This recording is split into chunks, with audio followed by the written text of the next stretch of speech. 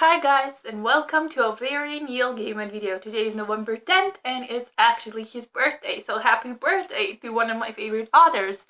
And in his honor I'm going to be doing a review of the box set that includes The Graveyard Book, Fortunately the Milk, and Coraline that Harper just came out with. This you can buy for around 18 euros on the book depository and this is not actually my set. This is my sister-in-law box set but she was kind enough to let me borrow it for a little bit so i can reread the books. Yes i reread all of these except fortunately the milk. It was my first time reading it. But first a little bit about the set itself. It's reasonably priced and it comes with the gorgeous illustrations by chris riddell but the box isn't sturdy enough as you can see, tell her box is already getting damaged.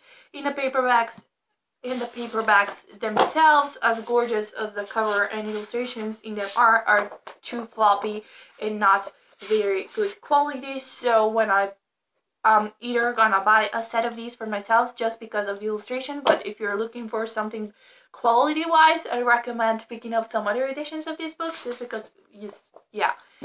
So since the Coraline is the first that came into my hand, yes, this is the second time I read Coraline. The first time was before Halloween last year.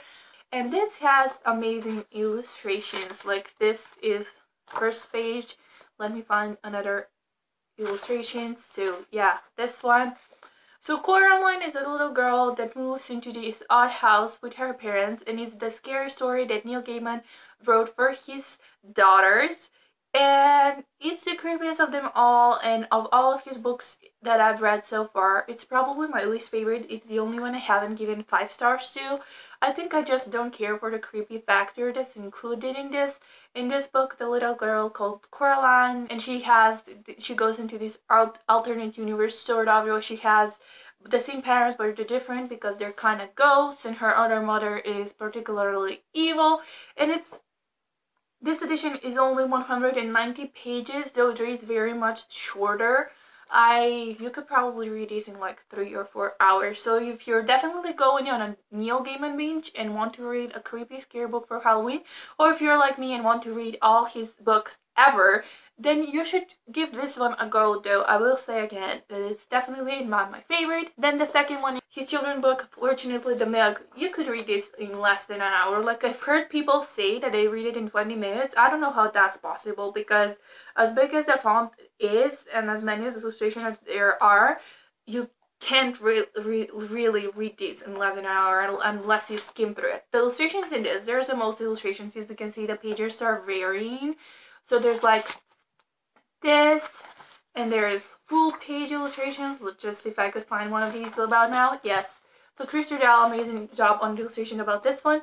So what's this book about? Uh, there's a family of four and the mother goes on the business trip and leaves the father responsible for the children and they eat cereal in the morning and one day there's no milk. And the dad basically goes out to buy milk and he comes back a while later with this story of a wild adventure he had but he managed to hold on to the milk. As you can see there's odd an assortment of odd creatures and stuff here and a balloon and everything it's a crazy adventure but in the end it all boils down to this that the father came up with a story from things that are around it or at least i think that was the point of it I love the illustrations and this one is definitely one I want to own just to read it to my children in the end. All the characters, Chris Riddell has illustrated all the characters. So yeah, five stars, five stars all the way. Amazing job.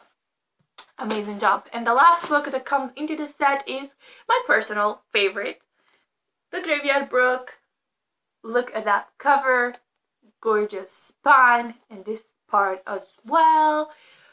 The Graveyard Book is about a boy called Nobody Owens. Actually, when he's a year old, I think, so still a baby, not even a toddler yet, a guy named Jack comes and kills his entire family, but somehow Bod, as he is usually called, ends up escaping and goes to the graveyard. And basically the ghosts in the graveyard end up taking care of him until he's about 15 years old and there are some crazy adventures involved and realize why this man called Jack killed his family and whatnot.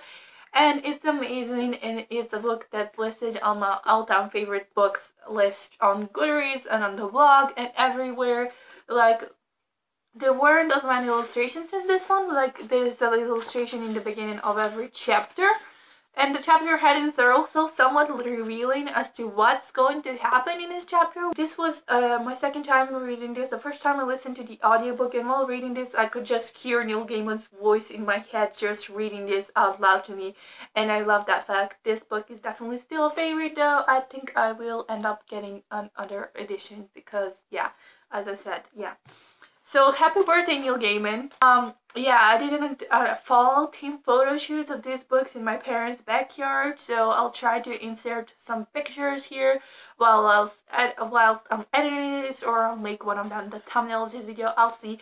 So let me know if you've read any of these books, what you thought of them, what's your favorite Neil Gaiman book, he's definitely one of my favorite authors, give this video a thumbs up and subscribe to my channel, I'd really appreciate it. Oh, and here are all the books.